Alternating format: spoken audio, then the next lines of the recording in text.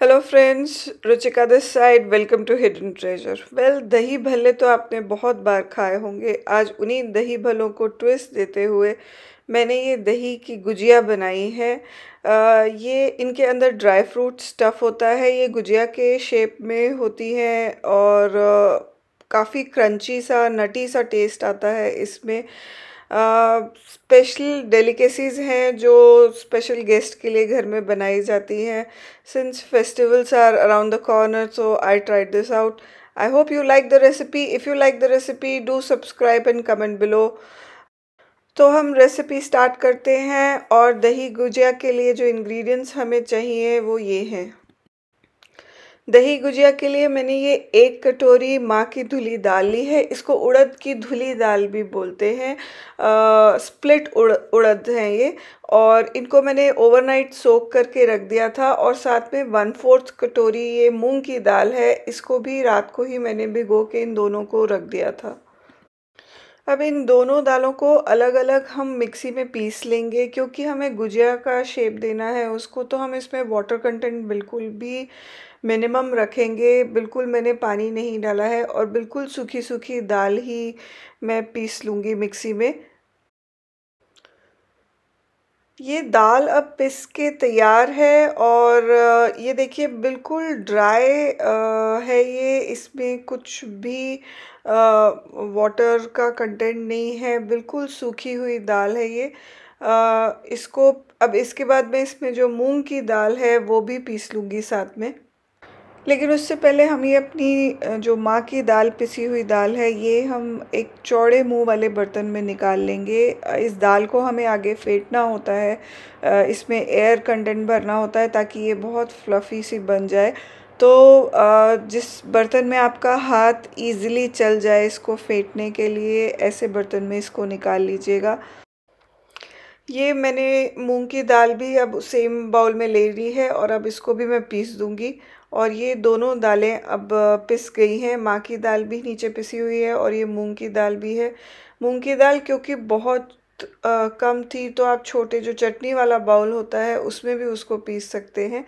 तो लेकिन पीसना हमें इसको बारीक ही। हमें उसके मोटे क्रंचेस मुँह में ना आए हैं तो वो ही बेटर रहता है। अब इस रेसिपी का मेन काम आता है वो है दाल को फेंटना। जितनी अच्छी दाल फिटी होगी उतनी सॉफ्ट आपकी गुजिया बनेंगी उतनी ही नरम और फूली फूली गुजिया बनेंगी। इसलिए दाल को फेंटना और उसमें हवा भरना बहुत ज़रूरी है। आ, ये आप हाथ से भी कर सकते हो और मशीन अगर आपके पास है फेंटने के लिए तो आप उससे भी कर सकते हो। दोनों ही तरीके से मशीन से थोड़ा इजी हो जाता है टास्क मैं आपको दोनों ही तरीके से करके दिखाऊँगी। ये मैं हाथ से फेंट रही हूँ और मैं मशीन का भी आपको पार्ट लगा के दिखाऊँगी कि किससे, किस जो बेसिकली केक बीटर होता है उससे इसको फेंटना होता है और फिर ये देखिए, ये भी मैंने करा है बट हाथ से भी ये बहुत अच्छी दाल फूलती है और बड़े अच्छे सॉफ्ट गुजिया, हाथ से भी बन जाती है। और अब हम एक बार टेस्ट कर लेंगे कि हमारी दाल फ्लफ़ी हुई है कि नहीं। उसके लिए मैंने ये कटोरी में थोड़ा सा पानी लिया था और उसमें एक पोर्शन दाल का छोटा सा मैं उसमें ड्रॉप करके देखूँगी। और ये देखिए, ये ऊपर आ गया है पानी में। दैट मीन्स मेरी दाल अच्छे से फ्लफ़ी हो गई है और अब ये गुजिया बनाने के लिए एकदम तैयार है। अब हम अपनी गुजिया बनानी स्टार्ट करेंगे और ये मैंने उसके लिए अंदर स्टफिंग के लिए थोड़ा सा ड्राई फ्रूट लिया है, जिसको मैंने थोड़े छोटे पीसेस में काट लिया है। इसमें काजू है, बादाम है, पिस्ता है, किशमिश है। इन सब का बहुत अच्छा नटी सा फ्लेवर आता है और ये क्रंची भी बनाते हैं गुजिया को। और ये एक पॉलीथीन लिया है मैंने और इसमें मैं पहले थोड़ा नीचे पानी लगाऊँगी अच्छे से। और ये गुजिया बनाने के लिए मैंने नीचे पॉलिथीन को अच्छे से डैम्प कर लिया है। पॉलिथीन हो सके तो थोड़ा मोटा लीजिएगा, आपको बनाने में थोड़ा कंफर्टेबल रहेगा। और ये फिर मैंने दाल का एक पोर्शन लिया है और इसको हम हाथों से पहले अच्छे से स्प्रेड कर लेंगे गोल गोल, जैसे कोई आलू की टिक्की बनाते हैं। ऐसे मैंने पॉलिथीन पे ही इसको अच्छे से स्प्रेड किया है और फिर इसके बाद इसमें ड्राई फ्रूट का क्रंच डालेंगे।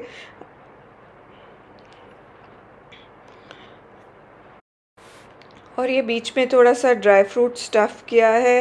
आप चाहो तो इसमें अपने अकॉर्डिंगली इंग्रेडिएंट्स कोई भी ऐड ऑन कर सकते हो। कुछ लोग इसमें बीच में अदरक, हरी मिर्ची भी डालते हैं। बट मुझे कई बार मुँह में जब अदरक का कोई खड़ा पीस ऐसे आता है तो उसका टेस्ट अच्छा नहीं लगता।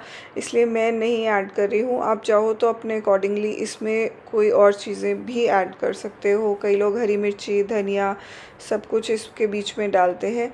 और ये मैंने ऐसे इसको फ़ोल्ड कर दिया गुजिया को और उसके बाद साइडों से अच्छे से प्रेस कर दिया है। पॉलिथीन को फ़ोल्ड कर दिया और फिर ये देखिए खोला तो जब उसका ऊपर से पॉलिथीन का लेयर उतारा तो वो प्रॉपर हमारी गुजिया बन गई है। साइडों से अच्छे से प्रेस करिएगा, वरना तेल में कई बार गुजिया फट जाती है या खुल जाती है तो इसलिए साइडों से अच्छे से उसको प्रेस करिएगा और ये हमारी दही गुजिया बन के तैयार है। हम बना के इसको साथ के साथ मैंने तेल गरम होने के लिए रख दिया था, उसी में डालते जाएँगे एक एक करके। ऑयल बहुत ज़्यादा गरम नहीं चाहिए। आप एक बार पहले तेल को अच्छे से गरम कर लीजिए और फिर गैस स्लो कर दीजिए और इसको हम स्लो पे ही बनाएँगे।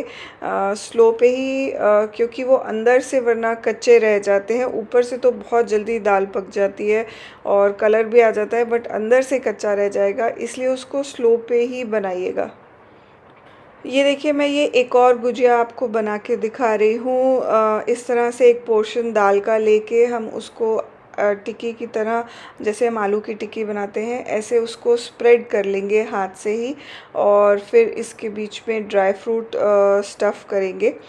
ड्राई फ्रूट का इसमें बहुत अच्छा टेस्ट आता है और फिर ये मैंने इसको पॉलिथीन को ऐसे फ़ोल्ड कर दिया और फिर साइडें थोड़ी सी साइडें पहले दबाई फिर एक बार खोल के फिर दोबारा साइडें थोड़ी सी दबाएँगे। और ये गुजिया दूसरी वाली भी मैं फ्राई कर लूँगी। पहले वाली गुजिया मैंने ऑलरेडी गर्म पानी में डिप करके रख दी थी। पानी में हल्का सा नमक और हींग भी डालेगा उसका फ्लेवर बहुत अच्छा आता है। और ये सेकंड गुजिया भी मैंने तेल में डाल दी है और स्लो पे ही हम इसको बना रहे हैं। तेल पहले से अच्छा सा गर्म था और अभी इसको स्लो पे थोड़ी देर सीखने के लिए हम ऐसे ही छोड़ देंगे ताकि वो अंदर से भी पक जाए। और गुजिया मेरी बन के तैयार हैं। अब हम ये दही को फेंट लेंगे। दही को जो घर का दही होता है उसको गाढ़ा करने का तरीका यही होता है कि आप उसको एक बार छन्नी से छान लीजिए। तो आपका दही बिल्कुल गाढ़ा गाढ़ा नीचे भलों के लिए बन के तैयार हो जाएगा।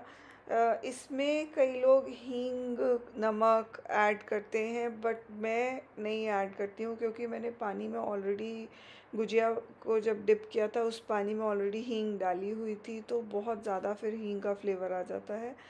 तो आपकी मर्ज़ी है, आप चाहो तो दही में भी हल्की सी हींग और नमक डाल सकते हो। और ये दही मेरा अब छन गया है।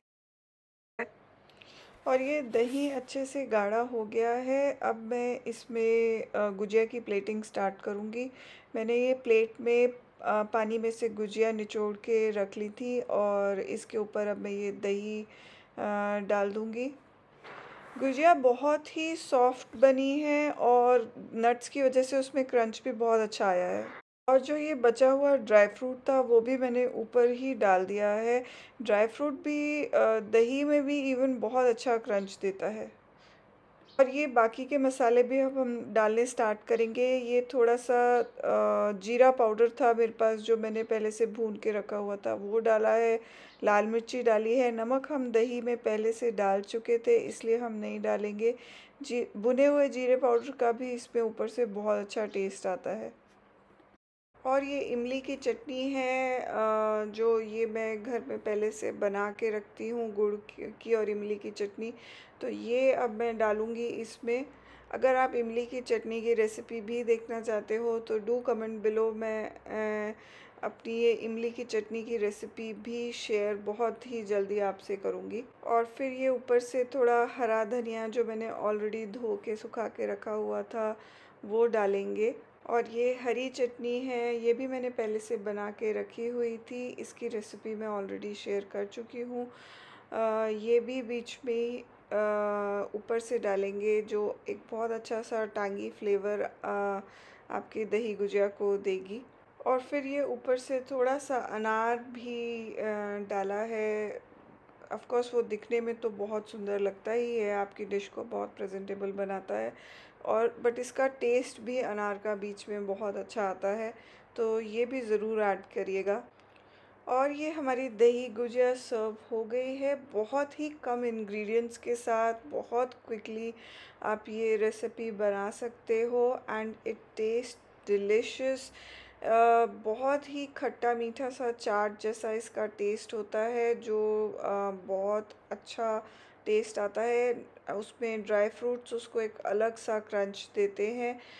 So if you like the recipe do hit the like button comment below and subscribe the channel thanks for watching the recipe do try this and let me know कि आपकी गुजिया कैसी टर्न आउट हुई है।